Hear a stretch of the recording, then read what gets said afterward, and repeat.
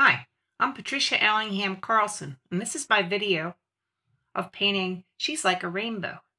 Over the years, I've been able to work with many fine and talented people as an art teacher. Even luckier is when these people become my friends, and long after the, the art lessons stop, the people continue to be friends of mine. That's been a real benefit of being an art teacher for many years. This was the photograph taken by one of my friends, and I stopped by her Facebook page to see how she was doing with her new house. I happened to see this beautiful picture that she'd taken of herself, or a friend had taken for her, and asked her if I could copy it as an inspiration for a painting. And she said yes. So this will be my video of how I went about doing this. I had an idea my idea was to combine my love of drawing with my love of painting watercolor. I pictured painting her hair in beautiful colors and yet having some fun with drawing and rendering her face with shading. I wanted to have a lot of white shine in her hair as well as texture. So I began with an ink pen and masking fluid. This is Pebeo masking fluid, and it was working quite well with my ink pen. Masking fluid doesn't always work for me, but in this case I'm randomly drawing lines and textures and patterns in her hair. This will have to dry before I can then proceed with paint. Next I got her features sketched in found her face underneath the hair, and got out my drawing pencils, which are in different hardnesses from very soft and dark to very pale and light. I started in with medium turns, sketched the lines, and then began to shade and render the shadows and the planes of her face. As a person who's been drawing her entire life. This was a lot of fun and a departure from all of the watercolor painting I've been doing recently. I really do like to draw and I really do enjoy showing shading.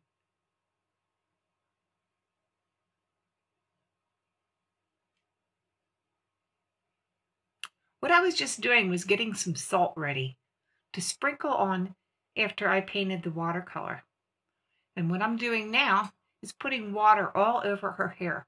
I'm avoiding the face and just putting the water on the hair. Doing this so the paint will go on loose and will spread and flow. I'm painting whatever colors I feel like painting, and I'm not really worrying about it.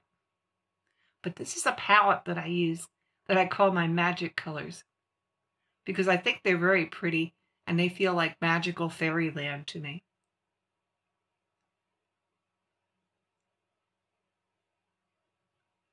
The yellow tends to mix with the Quin magenta and make some beautiful orange colors as well. The blues and the turquoises and the teal greens all mix as well. And then I'm adding some purple. The blue and the Quin magenta also mixed together to make a beautiful purple.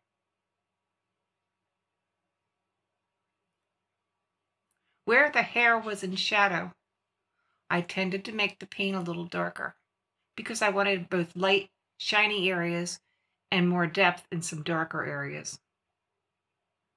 And I'm applying the paint quite concentrated so that it will remain bright. When I was done with the paint, I sprinkled on some salt for some texture.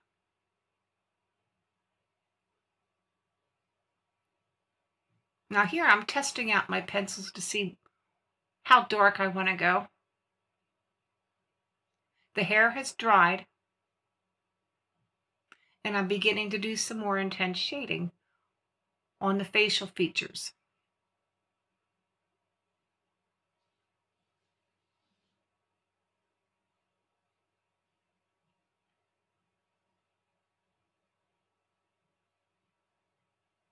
As an artist, I started out with drawing, and I'm sure many of you had did, done the same.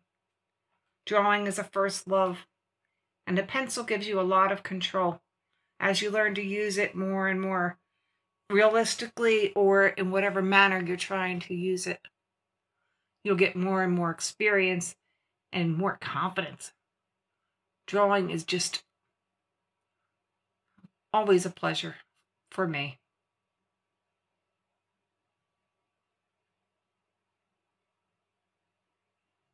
I had to make a choice about what I wanted to draw and what I wanted to paint. So I decided to do her skin in pencil shading with the graphite approach and do the hair and the shirt in watercolor.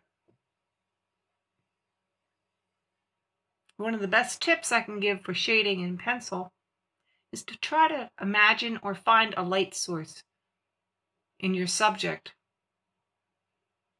and wherever the sunlight or the room light is falling on the person or the subject matter, the person will be lighter. And where the light is not reaching, the person will be darker. When I do a detailed shaded drawing like this, I try to get rid of any lines and make all the subject in into planes and shades and shapes as opposed to a line drawing.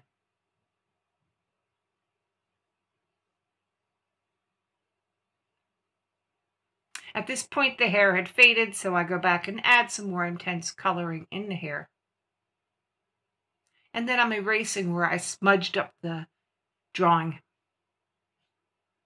And I had to erase a good bit because I wanted my lights to be very light and not smudgy gray. And I wanted my darks to be quite dark. These lovely little erasers were given to me by another art student and friend, and they have just been invaluable.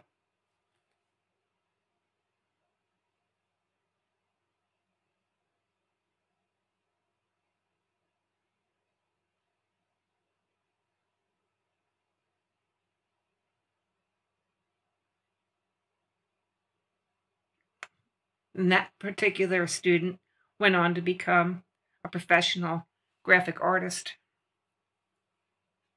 And I'm sure she knew all the right tools to use that I never found out.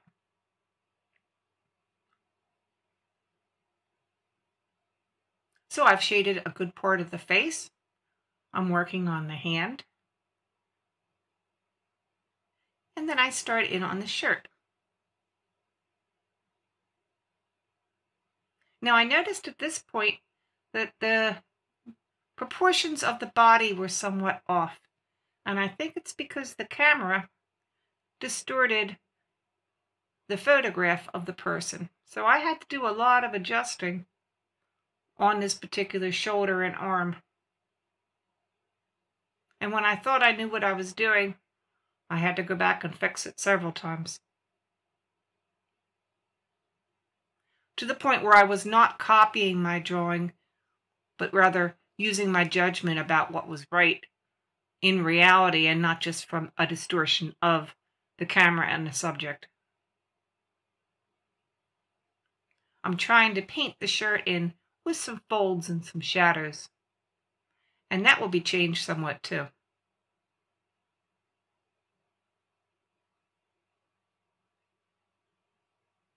This is an experimental painting. I'm having fun. I'm trying something new. I've never done this particular approach before. And every painting that I experiment with and try teach me something new about art. One of the reasons it's such an exciting thing.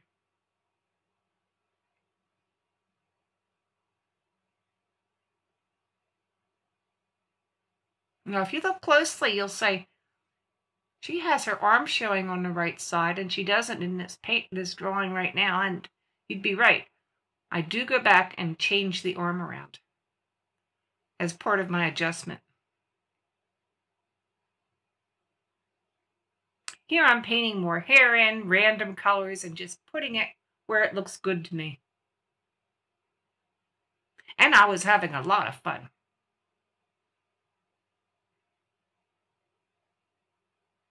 I've made the left arm, on the left side rather, much wider at this point and it looked more proportionate.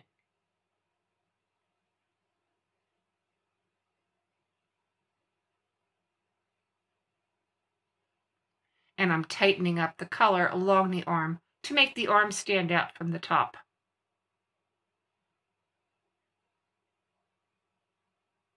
And now I'm lifting color to make the other arm.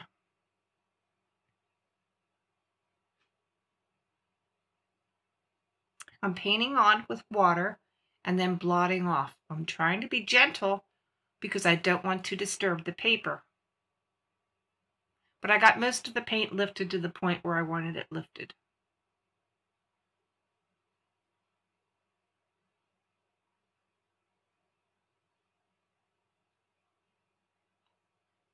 I'm darkening my shadows with a fairly soft pencil.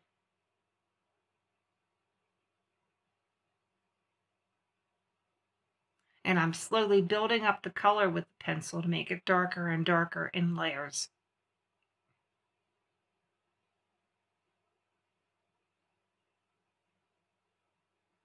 And in between, I'm painting hair.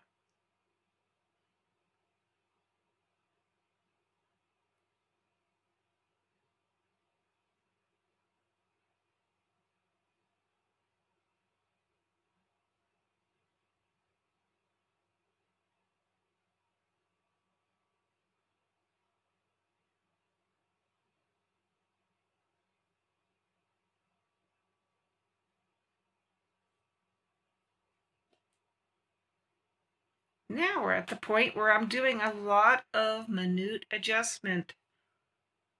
Adding small details, erasing smudges, back and forth and back and forth.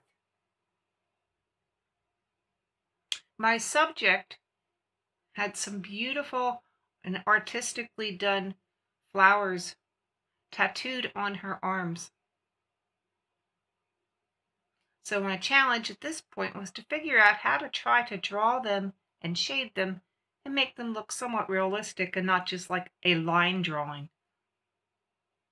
To do them credit for whoever the tattoo artist was who did such a lovely job.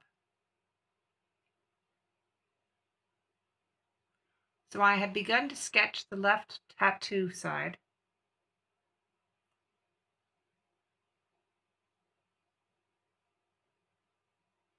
And now I'm focusing my attention on the right side.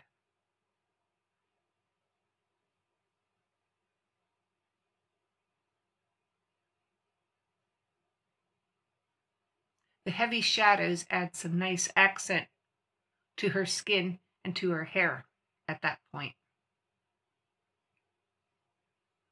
I shade out the arm and the skin of the arm and then I begin to try to draw the tattoo on the other side. My best trick that I learned with this was to draw it with a thicker line and then smudge the line. And then go back and erase within so it would stand out, but the line wouldn't look so drawn on, but rather part of the tattoo on her skin.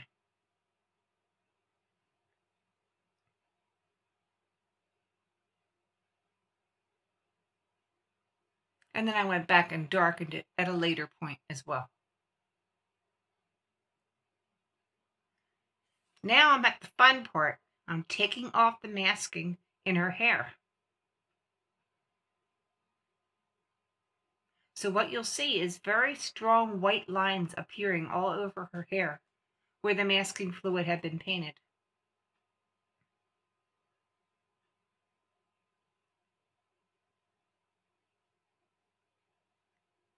I take it off with an eraser by erasing it, and I'm also taking it off with my finger by rubbing. It makes a lot of little messy eraser type things, and they go all over the place. Masking is uh, not exactly a convenient thing to do, but it really does work. The longer you leave it on, though, the harder it is to get off. And every little bit has to come off so you don't have little bumpy dark things all over the the painting.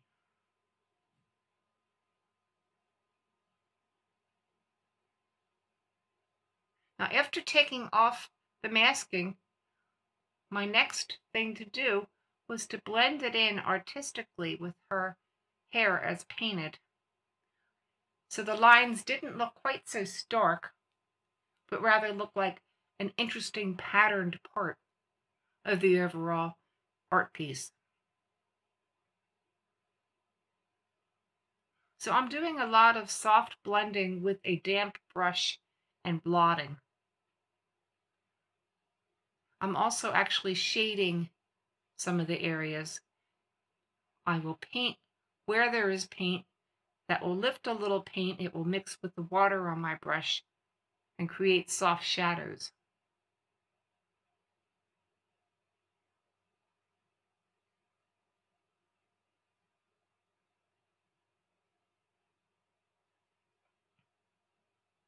Every once in a while I find a little area where I did not get all the masking fluid off and you'll see me rubbing that with my finger to get it off.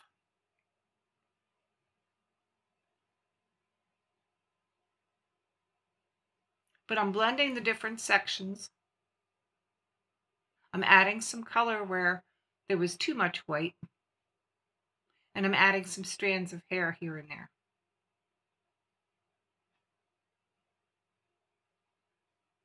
This took a while. There was no real pattern or approach to follow. I was sort of making it up as I went, and I just relied on what looked good to my eye. Again, this was an experiment. And when I experiment, one of the reasons I do that is to have fun. And I really did have a lot of fun with this painting. I'm continuing to adjust to blend the whites in the hair. And I'm continuing to add a little more color to the hair where it seemed to have faded too much. I'm also going back into the skin areas with darker pencils and enhancing the intensity of my pencil shading. I'm building up the shadows so they'll be a look, little darker and do some good accent work in some areas.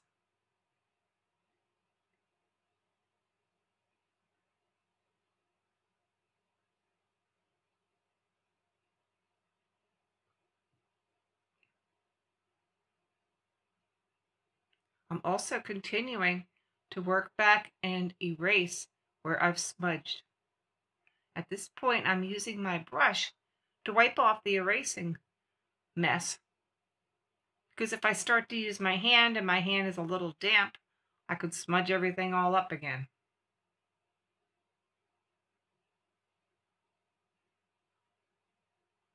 So using the brush is a very good way to take off the erasing mess.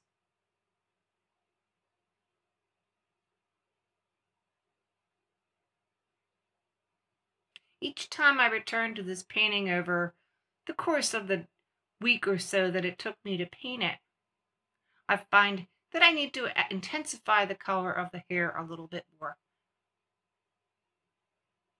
And so I continue to do that and build up more glazes or layers on the hair until it looks just right to me.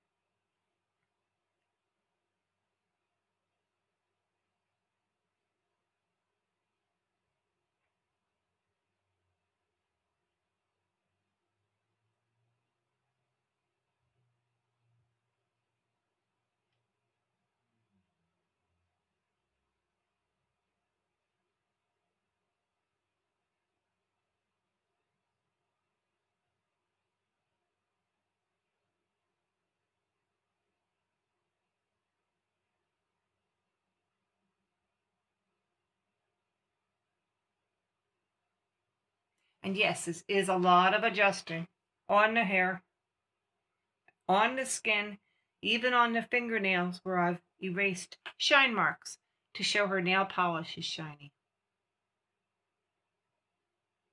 Just as a side note, if you ever do a tattoo on a person, make sure that you curve the picture of the tattoo along with their skin curvature so the tattoo looks like it's naturally following the contours of their skin and not just a flat thing.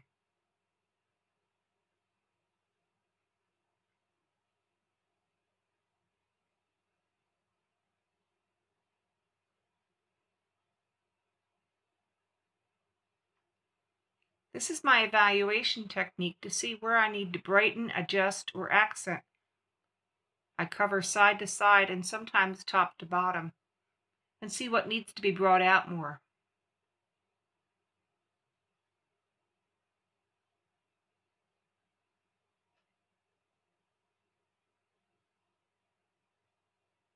And sometimes what needs to be taken off because it's too much.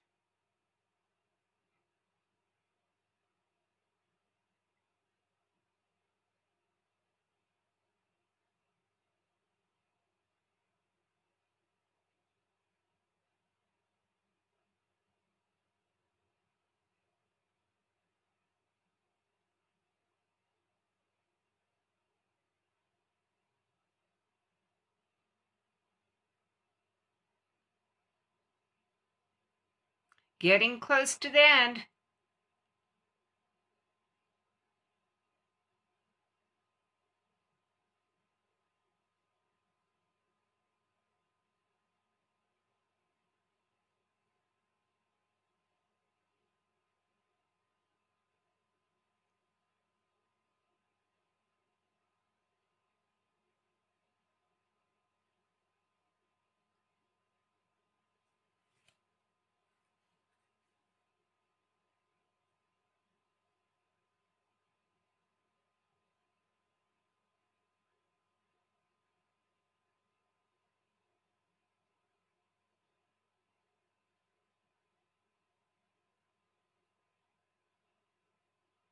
I find a good place, I sign it, and it's done.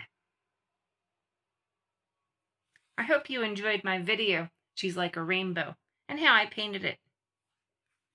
If you liked it, please give it a thumbs up and subscribe. There's also links below to click on, and they will take you to my art page on Facebook, my blog about art and life. They take you to some products that I use to create art, and also to my own art products page for people to purchase prints and other items with my artwork on. Your comments are always welcome. And I'll see you next video. Bye.